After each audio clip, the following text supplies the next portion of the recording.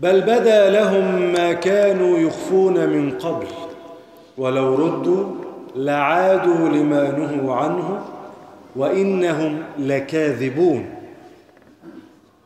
طبعا بذكرك بالآية اللي فاتت ولو ترى إذ وقفوا على النار الكفار لما يعرضون على النار أول ما يشوفوا مشهد النار فقالوا يا ليتنا نرد. نرد فين؟ للدنيا. يا ريت نرجع للدنيا. علشان ما نشركش ولا نكفر. علشان نمشي في طريق ربنا. ما نمشيش في طريق الشهوات والملذات المحرمة. ولا نكذب بآيات ربنا ونكون من المؤمنين. إحنا كنا بنعاند ونجحد الآيات. وفي قرارة أنفسنا نعلم أنها حق. بس الكبر والعناد منعنا من الإيمان. لكن لما لقينا أن مصيرنا للنار قلنا يا ريتنا نرجع تاني نصدق الآيات ونصدق بالنبي صلى الله عليه وسلم ونبقى في زمرة المؤمنين. فربنا قال بل بدا لهم ما كانوا يخفون من قبل. هم كانوا في قرارة أنفسهم عارفين أن الرسول حق صلى الله عليه وسلم. كانوا يعلمون من أنفسهم وكانوا مدركين ومتيقنين من صدق ما جاء به النبي صلى الله عليه وسلم. بس كانوا بيظهروا لأتباعهم خلاف ذلك. يعني يعني هو من قرارة نفسه أو في قرارة نفسه عارف إن ده حق وإن ده قرآن من عند الله. بس بيقول لأتباعه أوعوا تصدقوا محمد ده ساحر أو كاهن أو نحو ذلك. لكن لو هو مع نفسه كده عارف أن محمد حق وأن القرآن حق وأنه رسول من عند الله فعلا. يظهر الكلام ده إمتى؟ لما يعرض على النار. بل بدا لهم ما كانوا يخفون من قبل. كانوا بيظهروا لأتباعهم أنهم, مش م... أنهم لا يقتنعون بدعوة النبي. لكن في قرارة أنفسهم مدركين وجازمين بأن النبي حق. صلى الله عليه وسلم. تقول لي معقولة أنا عارفين النبي حق ومش بيتبعوه؟ طب أنت مستغرب ليه؟ طب ما ناس كتير عارفة اللي هي بتعمل حرام ومش بتسيبه. يعني محدش عارف إن السجاير حرام. حرام. ومعنى إنه حرام يعني ربنا يعاقب عليه؟ نعم. ولسه آلاف من المسلمين بيشربوا السجاير. ومحدش عارف إن ترك صلاة الفجر حرام. حرام. يعني إيه حرام؟ يعني ربنا هيعاقب هيعذب إن لم يتب إن شاء سبحانه. ومع ذلك ما عندوش يعني آه إرادة في إنه يغير نفسه ويصلي الفجر. منه هيتعاقب. وهو موقن تماما إنه هيموت. وقد يعاقب على ذلك ومع ذلك للأسف ما بيتغيرش. ليه؟ ضعف إيمان. ضعف إيمان. إنما لما الإيمان يكون قوي بيدفعه ذلك إلى ترك المعاصي ولا الحفاظ على الطاعات. فلأن الكفار دول الدنيا شغلاهم قوي فحبهم للدنيا غلب على أنهم يذعنون للنبي صلى الله عليه وسلم. هو بالنسبة لهم النبي واحد من قبيلة تانية والقبيلة دي إحنا بندعي إن إحنا أحسن منهم. يعني إيه؟ زي إحنا كده مثلا يقول لك ده من من الفلاحين وأنا من الصعيد فانت كده عايز تدعي إن الفلاحين أحسن من الصعايدة؟ تقول لي انت نبي أجيب أنا نبي منين بقى؟ ده انت كده خلاص يعني كسبت القاعدة.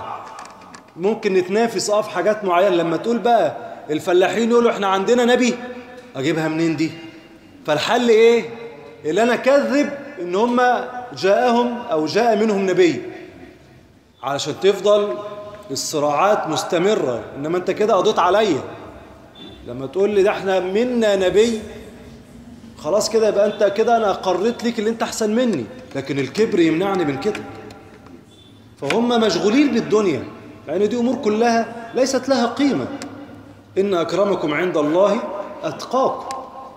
لا فلاحين ولا صعايدة ولا بني هاشم ولا بني عبد مناف العبرة بالتقوى. غني فقير صاحب جاه رجل بسيط العبرة بالتقوى ده اللي يشغلك وده اللي تهتم بيه. وعشان كده ربنا قال ولو ردوا لعادوا لما نهوا عنه. يا الله يعني لو رجعوا للدنيا بعد ما شافوا النار مش هيأمنوا. شيء في منتهى العجب شاف بعينه النار وعاين النار. ولو رجع إلى الدنيا لن يؤمن هينسى وأنا الحقيقة يا أخوانا كنت متعجب جدا من هذه الآية. بقول معقولة؟ يشوف النار ويرجع يكذب يرجع زي ما كان. آه. وحصل موقف كده من سنين معايا بدون تفصيل. جزاك الله خير. تسلم. والواحد شاف في هذا الموقف أمور صعبة جدا. لدرجة أنا قلت أنا, أنا لا يمكن أن الإنسان ينسى هذا الموقف وأنه يجعله دائم العبادة لله عز وجل وما ينشغلش بقى بالدنيا دي خالص. ولكن سبحان الله مع مرور السنوات والسنوات لا بدأت أنسى. وبقاش عندي نفس الحماس مع أني شفت بعيني وسمعت بأذني. ومع ذلك الحماس بيفتر ولو أنا سبت نفسي للدنيا آه لا ممكن كمان أنشغل تماما مع أني رأيت وسمعت. آه ده بيحصل يا اخوانا ولذلك حتى العاصي النهاردة لو راح شاف النار ورجع ممكن برضه يعصي ربنا لأن القضية قضية إيمان. وإحنا مستغربين ليه؟ إحنا مش بنلاقي ناس عندها 70 سنة و80 سنة وبتعصي ربنا. مش ده بينه وبين القبر خطوات في الغالب يعني؟ بس هو مش قادر يغير نفسه ليه؟ لأن يا اخوانا الإيمان مش اللي أنت تدوس على الزرار تبقى مؤمن وقوي الإيمان. كونك تحس إن أنت هتموت ده مش كفاية اللي أنت تكون رجل صالح. ده أنت الإيمان يزيد وينقص مش هيزيد في يوم وليلة. ده لازم أعمال صالحة وطاعات وقرآن علشان توصل للمرحلة دي. طبعا إلا إذا شاء الله أن يقذف في قلبك الإيمان. لكن هي مش مسألة إن بكرة بكرة يوم القيامة خلاص إحنا هنبقى عباد زهاد مش هنعرف. ليه؟ لأن الأمر محتاج إلى ممارسة وإلى تمرين إن صح التعبير.